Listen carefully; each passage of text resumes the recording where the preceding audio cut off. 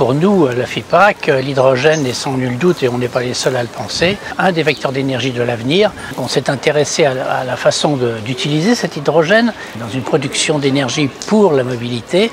C'est la pile à combustible, c'est-à-dire la production d'électricité renouvelable, stockable, grâce à la production d'hydrogène par électrolyse et la voiture à hydrogène, c'est aussi une voiture électrique. Très complémentaire du véhicule à batterie, qui lui, de par son autonomie de l'ordre de 100 à 200 km, ne permet pas des grands déplacements, alors que la voiture à hydrogène, elle, a une autonomie tout à fait équivalente aux voitures thermiques donc on ne veut absolument pas opposer la batterie à l'hydrogène comme certains ont cherché à le faire. L'hydrogène va s'imposer pour les grands déplacements, que ce soit maritime pour les bateaux, que ce soit les trains.